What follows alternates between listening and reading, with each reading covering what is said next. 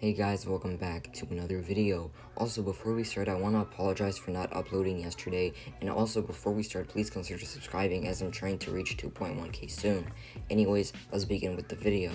So you guys may know DevEx, it is a really popular way that developers can exchange their Robux for real life dollars. It is very useful if you are a popular developer on Roblox because you can turn this into a job if you really are a popular developer that works on a lot of popular games or maybe one of the most popular games in Roblox history.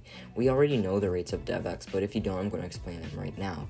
So if you want to exchange 100,000 Robux for real life dollars, you would get $350, which is a lot of money for developers that earn that much Robux in a day so you can go ahead and DevEx them. So the current rates are $350 per 100,000 Robux. So this means 1 million Robux can get you over $3,500, which is a lot if you actually think about it.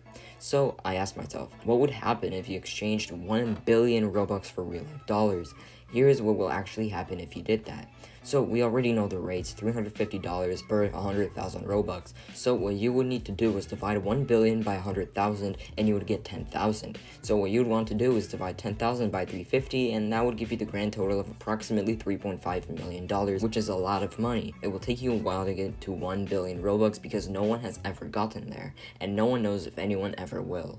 Anyways, if you want more interesting videos like this, comment, like, subscribe. Let's get 2.1k soon and I'll catch you guys in the next video.